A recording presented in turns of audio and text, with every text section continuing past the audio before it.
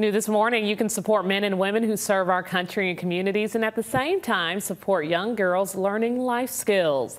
The Girl Scouts Hometown Heroes program is officially underway. WSFA 12 News reporter Bethany Davis is live at the 187th Fighter Wing at Dannelly Field this morning. Bethany, tell us a little bit how this works.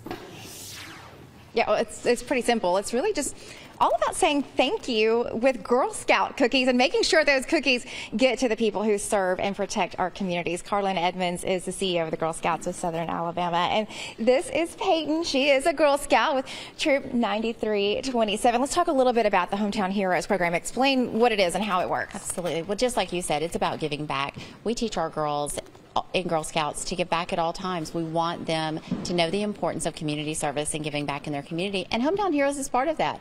So it's our way of saying thank you uh, to everyone uh, who our Girl Scouts serve. So it's easy to give back through Hometown Heroes. Just simply buy some cookies and say, I want to donate these cookies to the Hometown Heroes program. It is really easy. Yes, it's very easy, and it's a great way to give back to our first responders, uh, to folks like the 187th Fighter Wing, which we're here with this morning.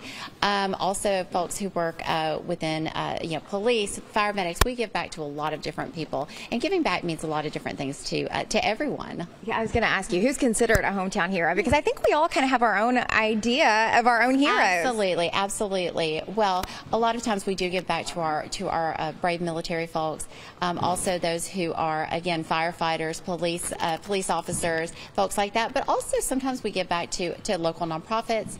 Um, you know, those who those who really uh, who need a little boost. So we are glad to do that, and it's our way of saying thank you to them. All right, Peyton, talk a little bit about how we can connect. How can we be a part of the Hometown Heroes program and connect with the Girl Scout to do that?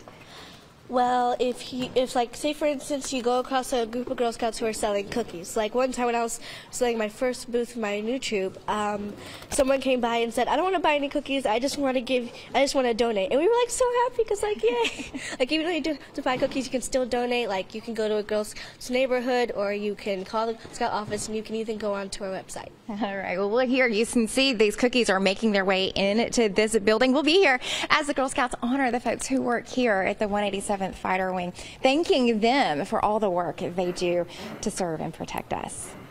Bethany, I love Peyton's energy this morning. She was so excited about those donations, and you can tell that it's helping the heroes and making our Girl Scouts happy. It is. It's such a really great way to support the world's largest girl-led business and give back to our community, those who serve and protect us at the same time.